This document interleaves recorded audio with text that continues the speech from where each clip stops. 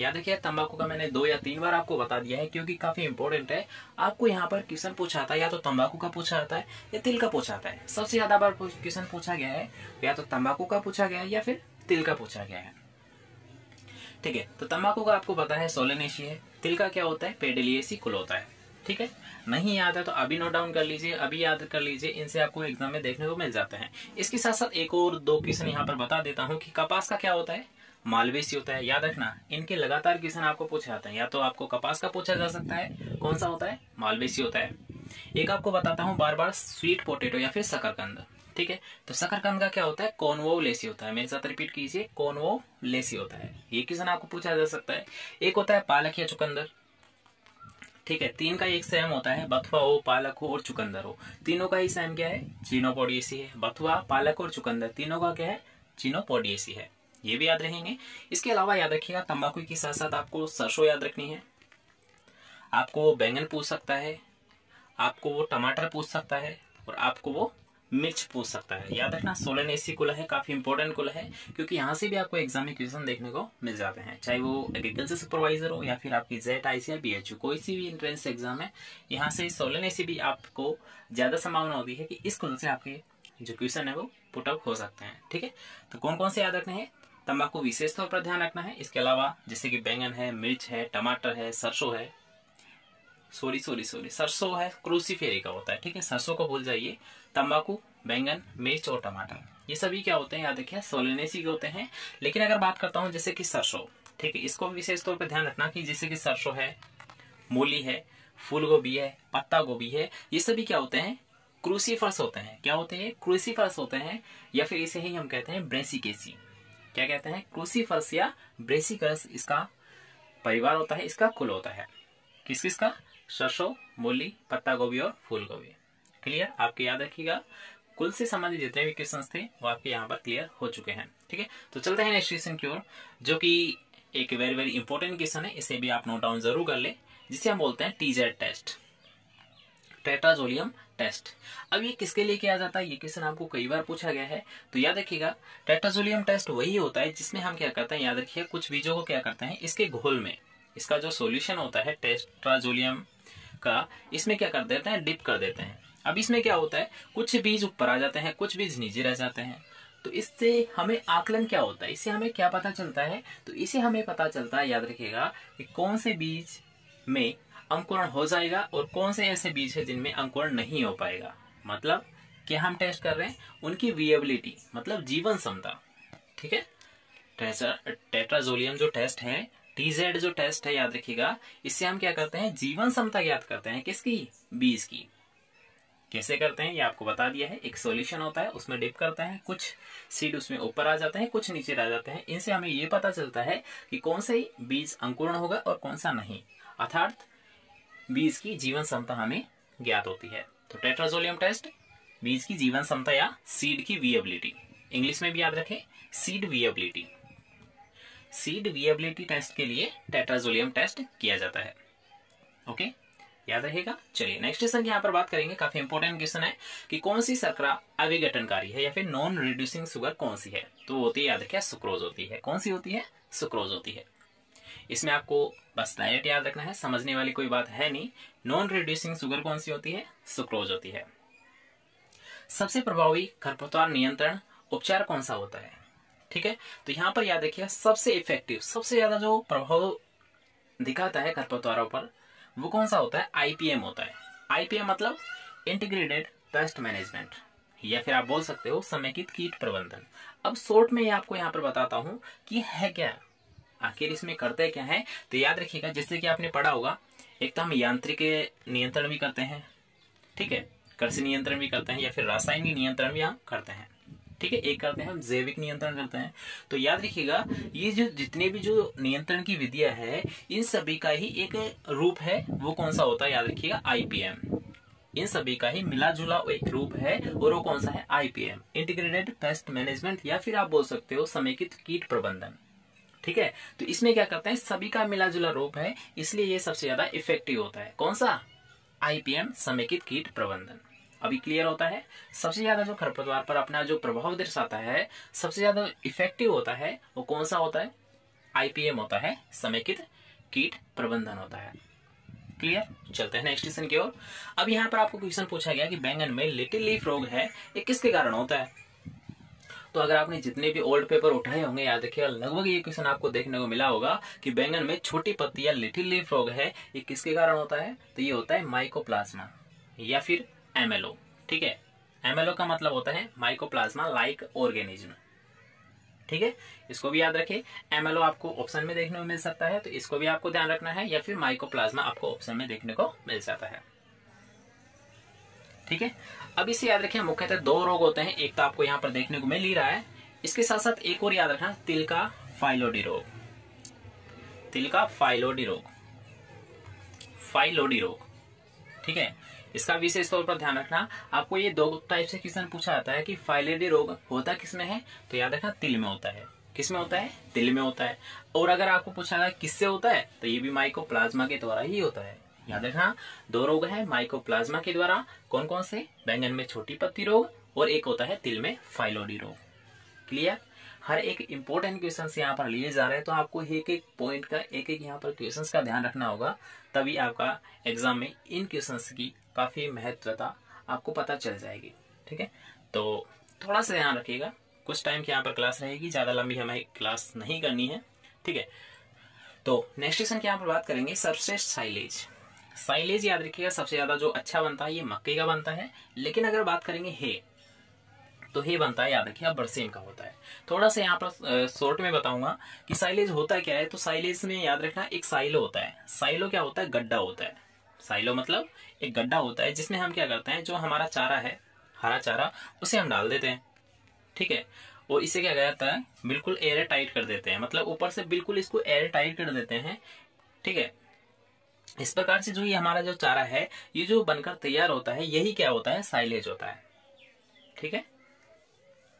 जो गड्ढे में तैयार किया जाता है, जो चारे को संरक्षित किया जाता है, यही हमारा कौन सा होता है? साइलेज होता है। और इसमें याद रखिए नमी ज़्यादा होती है। क्यों? क्योंकि ये गड्ढे में होता है। और अगर बात करूँगा जैसे कि हे तो हे को हम क्या करते हैं कि जैसे कि मान लीजिए कोई छायादार स्थान है, वहाँ पर सीधा ही हम डाल देते हैं। कोई हरा चारा है तो उसे हम सीधा क्या करेंगे? कोई छाएदार फर्श है, वहाँ पर डाल देते हैं, ठीक है? तो फर्श पर रहेगा तो क्या होगा? उससे नमी तो उड़ जाएगी।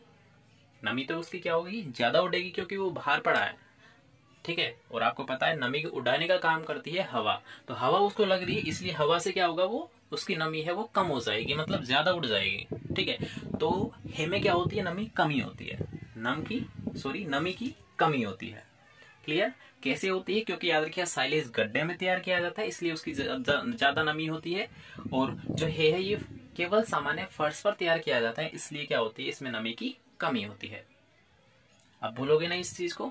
तो याद रखना साइलेज में जो नमी होती है यहाँ पर दो क्वेश्चन आपके एक साथ हो जाएँगे कि साइलेज में जो नमी होती है पैंसठ से सत्तर परसेंट होती है। लेकिन अगर बात करेंगे जैसे कि हे तो हे में केवल पंद्रह से बीस परसेंट ही नमी की मात्रा पाई जाती है। क्लियर चारों क्वेश्चन आपके एक साथ क्लियर हो चुके हैं। आई थिंक आपको समझ आ गया होगा। ठीक है? एक बार दोबारा से रिपीट करूँगा कि सर्वश्रेष्ठ जो साइलेज है, सबसे अच्छा बनता है, ये मक्के का बनता है, लेकिन अगर बात करूँगा हे तो हे सबसे अच्छा बरसीम का बनता है। हे में नमी है, वो कम होती है। क्यों? क्योंकि ये सामान्य फर्श पर सुखाया जाता है, इसलिए इसमें पंद्रह से बीस परसेंट होती है, और जो साइलेज है, इसमें नमी की मात्रा ज़्यादा होती है। क्यों? क्योंकि ये गड्ढे में तैयार किया जाता है। क्लियर चलिए। और इसके साथ साथ एक क्वेश्चन यहाँ पर और है कि हे और साइलेज है क्या? ये क्वेश्चन भी पूछा गया है कई बार। आपको सीधा पूछा जाता है कि हे और साइलेज है क्या? या फिर डायरेक्ट आपको पूछ सकता है, हे क्या है? तो हे होता है, याद रखिएगा, चारे को संरक्षित करने की एक विधि। चारे को संरक्षित करने की एक विधि होती है। ठीक है? तो संरक्षित चारा विधि क्या है? हे और साइलेज है। ठीक है? नेक्स्ट क्वेश्चन की यहाँ पर बात करेंगे कि किस फ़सल में लवणता के प्रति अधिकतम सहिष्णुता होती है। तो याद रखना ऑप्शंस के अकॉर्डिंग आपको ध्यान रखना है कि सबसे ज़्यादा चुकंदर की होती है, चुकंदर से कम जो की होती है। लवण के प्रति जो सहिष्णु होते हैं, वो कौन कौन सी फ़सलें हैं? सबसे ज़्यादा चुकंदर होती है और चुकंदर से कम जो होती है। जो आपको ऑप्शन में मिल जाए, वही आपका राइट आंसर है। विशेष तौर पर ध्यान रखना इसका भी। नेक्स्ट क्वेश्चन है, काली मिट्टी तो काली को उसके नाम से स्पष्ट हो जाता है, जो काली मिट्टी है, सबसे ज़्यादा उपयोगी है, सबसे श्रेष्ठतम अगर बात करेंगे किस फ़सल के लिए होती है तो काली मिट्टी कपास के लिए है। काली मिट्टी कपास के लिए है। और काली मिट्टी की क्या होती है, सबसे ज़्यादा जल धारण क्षमता होती है। जल को रोके रखने की जो क्षमता होती है, वो काली मिट्टी की ही सबसे ज़्यादा होती है। ठीक है? इसके अलावा बात करेंगे, लाल मिट्टी किस फ़सल के लिए उपयोगी होती है तो मक्का फ़सल के लिए होती है। दोमट मिट्टी है याद रखिएगा, ग्राउंड नट या मूंगफली के लिए होती है। ओके? और यहाँ पर एक, यहाँ पर याद रखना कि मूंगफली में जो एक हानिकारक पदार्थ होता है, वो कौन सा होता है? या फिर आपको डायरेक्ट पूछा आता है कि एफ्लाटोक्सिन क्या है? एफ्लाटोक्सिन क्या है? तो एफ्लाटोक्सिन याद रखिएगा, मूंगफली में पाए जाने वाला एक हानिकारक पदार्थ है। क्या है? हानिकारक पदार्थ है। ठीक है? इसका भी विशेष तौर पर ध्यान रखना है, ये क्वेश्चन आपको सीधा पूछा जाता है। ठीक है?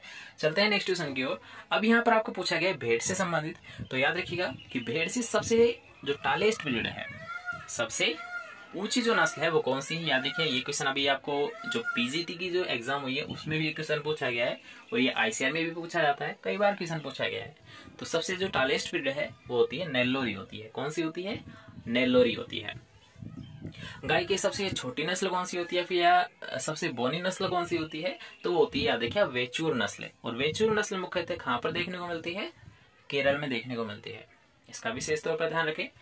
नेक्स्ट है, आपको ये दोनों ही इंस्टीट्यूट मैंने पहले भी कराए हैं और दोबारा से देख लीजिए, क्योंकि ये काफ़ी इंपॉर्टेंट है। कि एनडीआरआई करनाल हरियाणा में स्थित है, जबकि एनडीडीबी आनंद गुजरात में स्थित है। एनडीआरआई मतलब national dairy research institute Karnal Haryana में स्थित है, जबकि NDDB national dairy development board Anand Gujarat में है। एनएचबी गुड़गांव हरियाणा में है। National horticulture board Gurgaon Haryana में स्थित है। इन तीनों को याद रखिएगा, तीनों से आपको एक क्वेश्चन देखने को मिल जाता है, ठीक है? इक्री सेट कहाँ पर है? ये तो आप सभी को ही पता है कि इक्री सेट हैदराबाद में स्थित है, लेकिन अब यहाँ पर आपको इसकी फुल फॉर्म भी याद रखनी होगी, क्योंकि फुल फॉर्म भी आपको पूछी जा सकती है, ठीक है?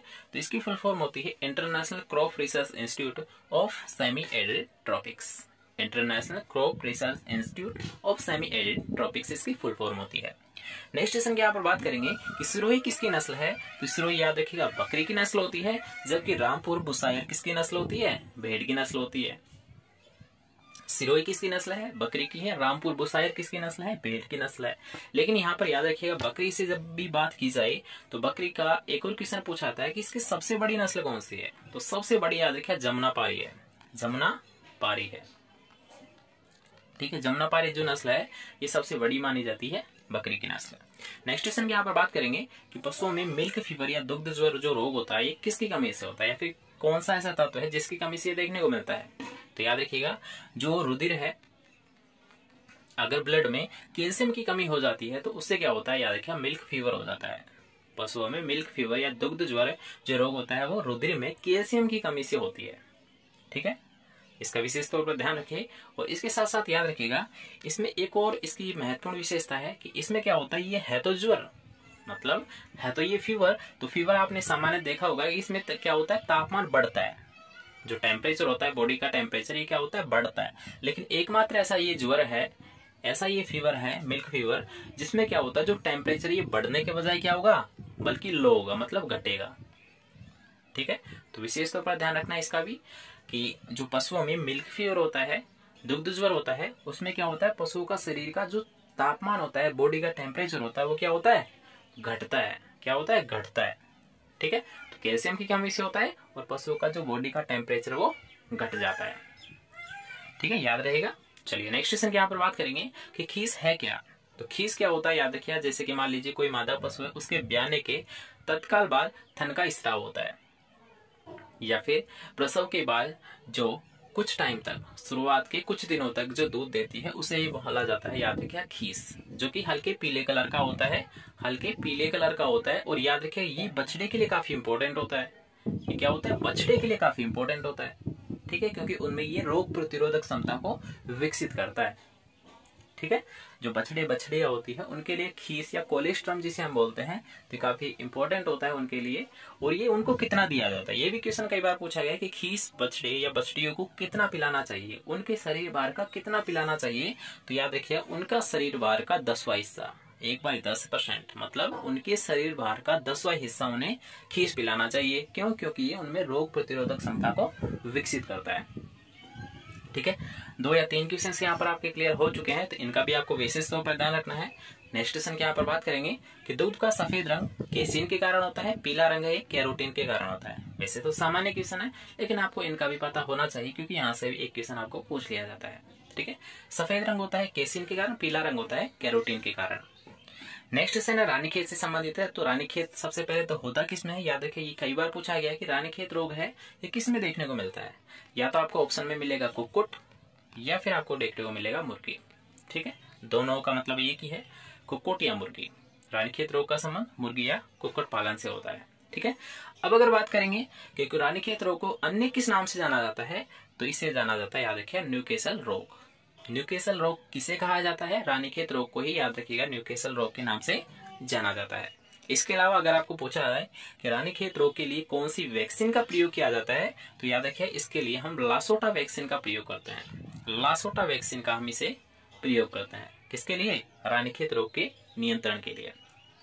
नेक्स्ट क्वेश्चन है, काफ़ी इंपोर्टेंट है, और एक कॉमन सा क्वेश्चन है। लगातार आपको ये क्वेश्चन पूछा जाता है कि एफ़ या फिर खुरपक्का व मुहप्पा का रोग है, ये किसके द्वारा होता है? तो याद रखिए, ये वायरस के द्वारा होता है या फिर किसके द्वारा ये फैलता है? तो ये विषाणु जनित रोग होता है मतलब विषाणु के द्वारा ये फैलता है। याद रहेगा? खुरपक्का व मुहपक्का है एफएमडी है फ़ूड एंड माउथ डिज़ीज़ है, ये किसी होती है? वायरस के द्वारा होती है, ठीक है? अब ऐसा कौन सा रोग है जो कि मनुष्य से जानवर या फिर जानवर से मनुष्य में फैल सकता है? तो होता है, याद रखिए एंथ्रेक्स रोग। तो ऐसे जो रोग होते हैं, याद रखिए उनका एग्ज़ाम्पल की अगर बात करूँगा तो जैसे कि एंथ्रेक्स रोग है, जो कि क्या होता है, याद रखिए, मनुष्य से जानवर या जानवर से मनुष्य में फैल सकता है। अब यहाँ पर जो लास्ट का क्वेश्चन है जुनोसिस डिज़ीज़ या फिर जुनोसिस रोग क्या होते हैं तो उसी का एग्ज़ाम्पल याद रखिए, ये एंथ्रेक्स है।